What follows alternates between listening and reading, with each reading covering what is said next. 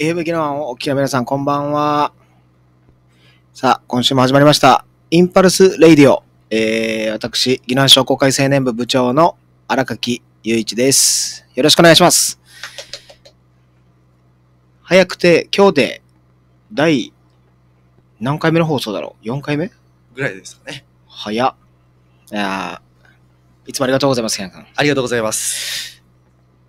4回目で、いろいろと何を喋ろうとかずっと思ってたりするのかなと思ったけど、意外と我々商工会青年部ってやることいっぱいあって、実は。で、これが、まあその地域の商工業の若手の45歳以下の経営者の集まりなんで、なんだろう、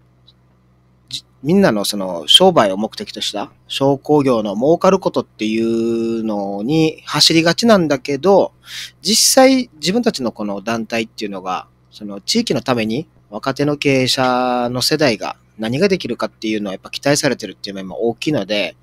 結構ね、ボランティアとか、うん、なんかそういう活動に動員されたり、あと自分たちでそうやって企画をして構築していくっていうのが結構あの、自身の成長にもつながるし、会社の、えー、そういった地域貢献とかっていうのにも学べる、いい組織なのかなっていうふうには捉えてるんですけども、実際ね、今、我々が、えー、今取り組んでることをちょっと今日掘り下げてお伝えできればなと思うので、よろしくお願いいたします。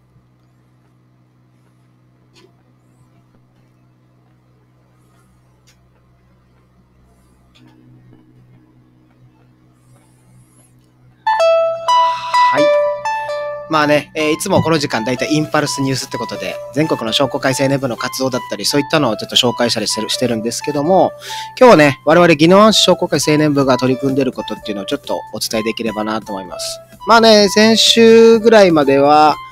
そのイベントに関することをちょっと多くて、そのお祭りだったり産業祭りっていうことをよく、えー、フォーカスしていろいろと案内させてもらったんですけど、実はね、えー、もう一個大事な柱というか、今、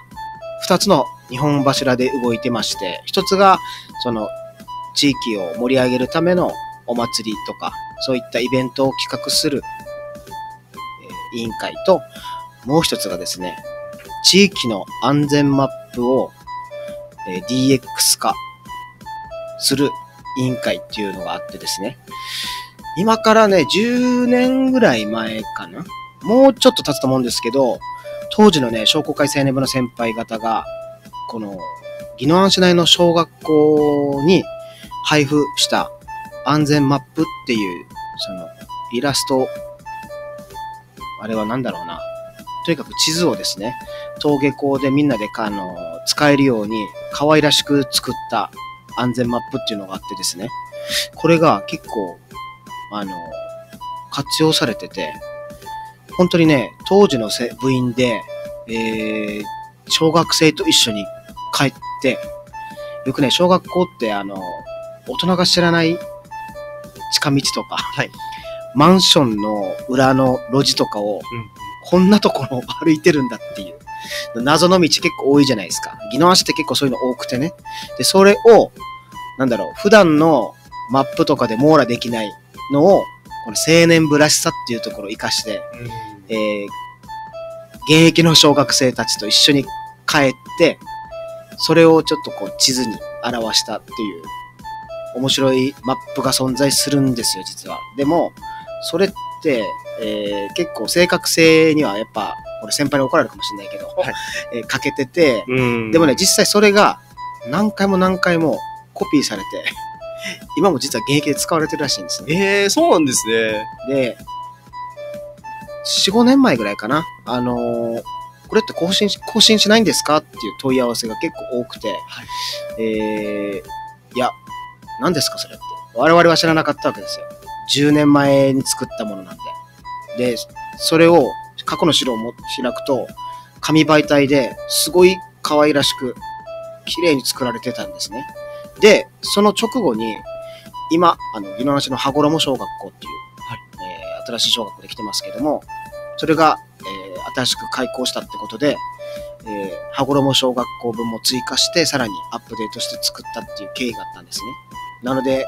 まあ、あの、私立の小学校以外、宜野湾市の私立、えー私立ではなくて、宜野湾市立の、えー公立の小学校をすべて通学路を網羅した、えー紙媒体の安全マップっていうのが存在してて、で、今でも小学校1年生の子たちに配ってるのかな？今年配ったやつも実は見て、で、やっぱりね、内容がね、なかなか更新されてないんですよ。はいうん、で、実際、新しい道ができてたりするし、で、今、なんだろう、当時は空き地だったところが今アパートとかマンションが建ってたりとかね。はい。なんかそこにね、ハブマークがついてたりするわけね。ハブが出ますよと。でも、そこ普通に今もう駐車場になってて、マンションも綺麗に建ってて整備されてるし、そういったのを、今の時代に合ったものってできないかっていうのをちょっと考えたときに、もう DX だろうと。はい。単なるデジタル化じゃなくて、DX って要するにね、皆さんであのよく聞くデジタルトランスフォーメーション。その ICT とか IoT とかっていう技術って、要するにインターネットを、えー使っていろんな情報とかを、こう、幅広くサービスに活かせるっていう。はいだから、えー警察だったり、まあ、消防もこうかな。とにかく行政と連携パートナーを結んで、常に最新の、うんえー保護者の皆さんが必要とするような情報を瞬時にできるものってなんだろうってアプリだってなってですね。でこの安全マップの今アプリを作成してるんですよ。えー、商工会青年部で。めちゃくちゃ楽しそうですね。でね、この前、か、えっと、かかず小学校地区を、はい年末にね、はい部員10名ぐらいでかな、小学校周りを夜歩いてみたんですね。はい実際当時作った先輩方のマップをもとに、今どうなってるんだろうとかね。はいまあ、大変でしたね。やっぱね、小学生ってやっぱ謎のはい。大人が予想しないルートを歩いたりするもんだから、宜野湾市って結構ね、河川の事故もね、ちょっとうんあったりするし、で、未だにね、ちょっと、あ、ここまだ金網が綺麗に整備されてないなとか、うん。でも、場所によっては公園が結構綺麗に整地されてて、はい。あ、前よりかは、なんか過ごしやすいのかなとか、うん。で、そういったのがね、やっぱ多すぎてね。で、やっぱこれは新しくデジタル化だけじゃなくて、はい最新のものを取るためには、やっぱ警察とか、そういった叱るべき機関と連携をしながら、えーっと、あの、皆さんに情報をリリースできる体制を構築しようってことで、今、あの、GX 委員会っていう、はい。えーこれ、ギノワントランスフォーメーションの略なんですけど、そのチームが今動いて頑張ってもらってるんですね。いやー、なかなかね、期待していただきたいんですけど、はい。まあ、費用がかかりますよね、アプリってね。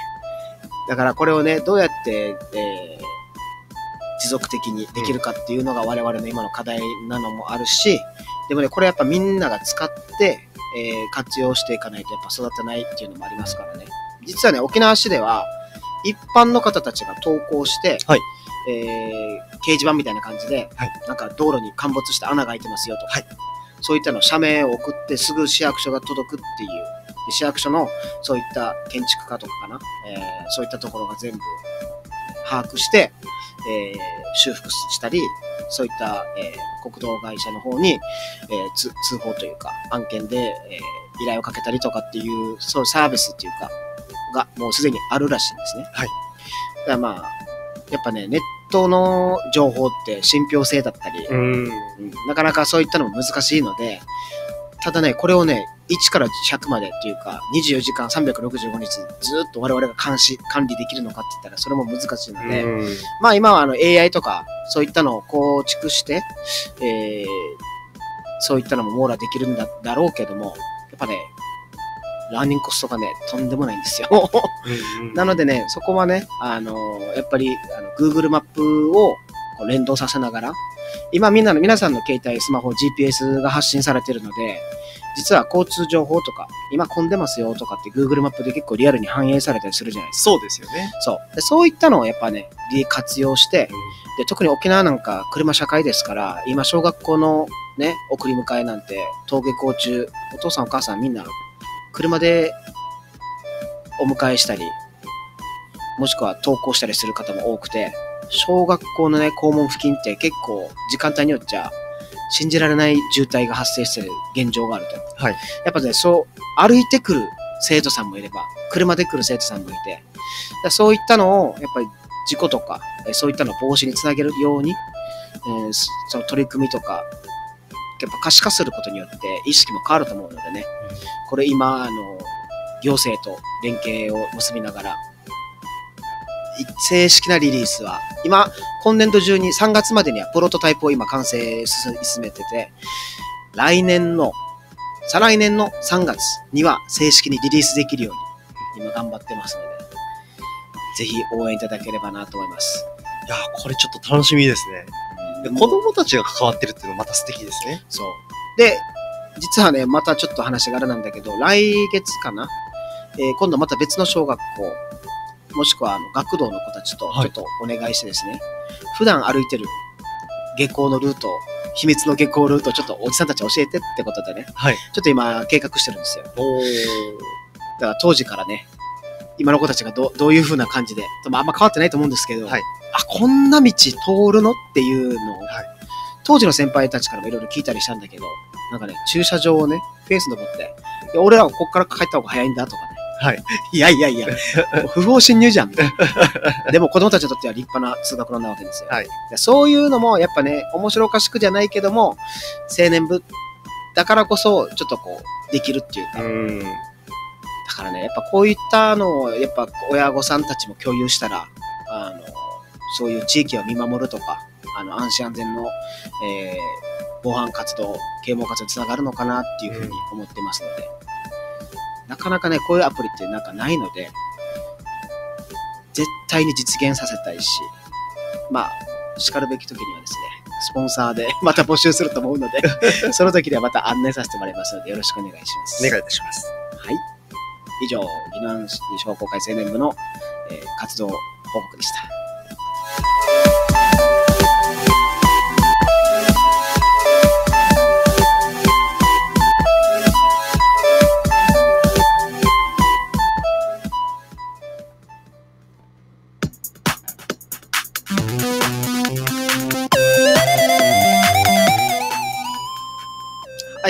送りしております。えーインパルスレディオ、えー、沖縄商工会青年部部長の荒垣雄一です。えー、今日はね、えー、青年部の普段やってることっていうので、先ほどは、えー、ギノワントランスフォーメーション GX 委員会が行っている、えー、安全マップの、えー、アプリについてちょっとお話しさせてもらったんですけども、もう一個ね、宜野湾市商工会青年部には、もう、ぜひこれを皆さんに知ってもらいたい、いただきたいっていうキャラクターが実は存在してまして。はい。ちょくちょく最近出てくるようになったんですけども、あのー先、先週かな？えー、かか坂大公園で行われた、あの、ベイスターズの、えー、桜祭り抽選会の時にも、実はアシスタント、司会のアシスタントとして活躍してくれたんですけど、流星天女、ハニンという、はいヒロインキャラクターが実は存在するあんですね。、そうなんですね。。で、我々ね、えー商工会青年部、中部地区で8市町村あるんですけども、まあ、沖縄市さんは沖縄市商工、沖縄商工会議所青年部といって、まあ、ちょっと別組織になるんですけど、こう中部の9市町村には、それぞれ、あ宜野湾以外か、8市町村には、それぞれ、その、地域を代表するゆるキャラ、もしくはヒーローが存在するんですよ。なんかね、産業祭りでは、必ずと言っていいほど、彼らが出演したり出てきて、地域の PR をしてるっていうのをね、ずっと宜野湾市民として、なんで宜野湾市ってないのかな？宜野湾市にも必要だと思うんだけどなってずっとずっとずっと思ってたわけですね。で、コロナ前の平成30年に、やっとでですね、プロジェクトが動き出して、宜野湾市にも、絶対にこういった市の内外、もしくは県外に PR するコンテンツっていうのは絶対必要だから、キャラクターを作ろうと、青年部の中でプロジェクトが立ち上がったわけですよ。でその時のね、やっぱコンセプトがまあざっくりしすぎてて、なかなか意見がまとまらないし、うんた、だ一致したのが、宜野湾って伝説とか歴史とかっていうと、真っ先にもあの浮かんだのが森の川の森川公園の、はいあの羽衣伝説なんですよ。で、実はね、日本全国に天女羽衣の伝説ってめちゃくちゃあって、はいたくさんあって、結構多いですよね。で、逸話？ストーリーも大体似てるのよ。うーん。その、水浴びせたり、はい。そう、それを返したくないからって言って、羽衣を盗んじゃったりとかして、意地悪するっていう、ね、そういう逸話が、大体似てるのよ。で、コロナ前に、実はね、このね、羽衣サミットみたいなのがあって、全、日本全国各地にある、その羽衣伝説のキャラクターたち、はいそういったのを集めて、あの、羽衣伝説をどうやって観光産業だったり PR につなげるかっていう会議体があってね。はいそういったのをやってたらしいんですね。で、宜野湾で開催されるぞってなった時にちょっとコロナが。うーん。でもね、あの時ね、こんな言ったら怒られるのかな？ちょっと内容全くわからなくて、あんまり無責任なこと、責任なことは言えないけど、なんだろう。ああの時開催できなかったのは逆にチャンスだったのかなって。当時ね、宜野湾で開催したら、はいだって宜野湾ってその羽衣天女をモチーフにしたキャラクター、多分なかったのよ。そうなんですね。うーんとね、昔ね、実はちょっと存在してたりしなかったりあったんだけど、はい。やっぱり宜野湾を PR するそういったキャラクターだったり、そういったのって具具現化とかすると、やっぱ天女とか羽衣の形になるんだろうね。昔からそういった似たようなものが結構あったんだけど、はい著作権の問題だったり、はいこれってあれに似てないかみたいな感じで、やっぱね、ありますね曲折あって、はい今ちょっと使えないみたいな。うん。でやっぱ行政もね、ちょっと困ってると。うんもうなったら、商工会青年部がやりますよ、作りますよってことで、これ本気でやろうってことで。はいで僕は当時ね、その時その担当してた、えーわけでもないんだけど、その副部長っていう立場から、あのね、ゆるキャラって聞い言葉。はい。あのね、何、なんかな？三浦淳さんっていう、あの人なん、なんなんだろう？本本職。よくわかんないんだけど、はいタモリクラブとかよく出てくる人がいるじゃないですか。はい。三浦淳さんが作った言葉なんですよ。そうですゆるキャラっていう定義はね、はい確かね。はい。でも、ゆるいじゃないですか。ゆるキャラって。でも、ゆるキャラじゃなくて、ちゃんと、えーキャラクターとして成立させたいから、ガチキャラを作ろうってずっと言ってたんですよ。でね、もう、ぶ当時の部員もね、何言ってんだろ、こいつって感じだったけど、それをやっぱり作るってなって大変だったけど、みんなの真似して面白くないから、はいないものを作ろうってことで、うん。羽衣、天女。ってことは、ヒーローじゃなくてヒロインキャラクターっていけんじゃねってことで、もう県内初じゃないですか、ね。ヒロインキャラクターっていうのを作ろうっていうことで、実は公募かけたんですよ。はい。で、80点余りかな。イラストが届いて。で、ちゃんとね、意味を持たせるために、あの、当時部員だった方で、アニメのイラストレーターというか、NHK の仕事をやってる。今でも、この F 麦のの改築に関わってる。はい。鉛筆堂の、お、朝日さん。はいはいはい。実は、もともと青年部員で、ギナンの。朝日さんの紹介で、あるアニメーション監督を紹介してもらったんですおね。ーその方がね、えーポップ、ポップテップピック？あ、はいはい。ポップテピピック。ボブ・デビリックはい。の監督をやってるえー、青木さんっていう方がいらっしゃるんですね。えーその青木さんに審査員長を務めてもらって。そうなんですよ。それで、すごいじゃないですか。はい。もう、すもう本当すごいことなんですよ。うわもうとんでもないですよね。で、その人に一緒にそうそうたるメンバーで選んで誕生したのが、流星天皇、犯人なんですね。あで、それを、やっぱりね、作るだけじゃなくて、いろんなのに派生させたり、あと、この、なんていうのかな。二次元というよりかは、はい立体で三次元というか、はい。具現化してスーツを作らなきゃいけないし、はい。リアルに活動もさせたいからってことで、えーコロナ禍の間にボディースーツ作ったり、マスク作ったり、おーいろいろとやっ、て、今実は、そうやって稼働してるんですよ。でなかなかね、やっぱ、お披露目する機会がなかなか難しいので、はい。とにかく市民の皆さんに目にかかるように、いろんな動きをしていこうってことで、僕が部長の間に、いろんなことにチャレンジしようかなっていうのを考えている次第でございます。いやーめちゃくちゃ素敵なストーリーですね。やっとでね、ここまで来たので、はい。このハニンちゃんをね、どうにかみんなに認知してもらいたいし、うんうんうんと言っても、だハニンちゃんってだから何なの？ってなると思うんで、とにかくみんなの目についてほしいと思って、今ね、いろんな市役所の団体だったり、行政のサービスとかに絡めないかってことでいろいろとお願いしてる最中で、もしかしたら、この2、3年の間に、結構ハニンちゃんが街で溢れるんじゃないかなと。それを狙ってます。だ特産品の認定シールにハニンちゃんとかね。はい。まあ、くまモンまではいかないけども、くまモンみたいになりたいし、でも、ダンスと歌も作ってですね、子供たち全員に踊ってもらいたいし、いいですね。で、もうその振り付け動画も作ったので、それを無料でもう、市内の幼稚園に配ろうかなと。それで覚えてもらって泳ぎ会とかそういったので披露してもらう機会を作ったりとかね。あとは、羽衣祭りで、ハニンのダンスとかコンテストとかをやって、みんなに誘致できたら、あー認知できたらなっていうふうに今考えている途中でございます。いやーもう、盛り上がっていただきたいですね、やっぱり。あのーなかなか最近こうやって、えっと、女性キャラを作って、お、あの、なんか地域盛り上げようっていうのが、やっと出てきたっていうところで。そう。そうなんですよ。はい。実は、宜野湾市商工会青年部は、はい。もう5年前からそれをやってたって。でも、遅いぐらいだけどね。いやーやっぱ、ね、女性キャラクターって、あの、なかなか難しいのかなと思ったけど、はい。意外とね、構築してくると、的を得てるというか、はい何にでも使えるというか、それはね、ヒヒーローとか、ゆるキャラだからとか関係なく、はい。多分ね、そういう潜在意識というか、勝手に女性キャラクターって難しいよっていう、なんかね、固定概念が多分あったんだとう思う。今ね、とっても、なんだろう、地下アイドルをずっと応援してる 部長としては。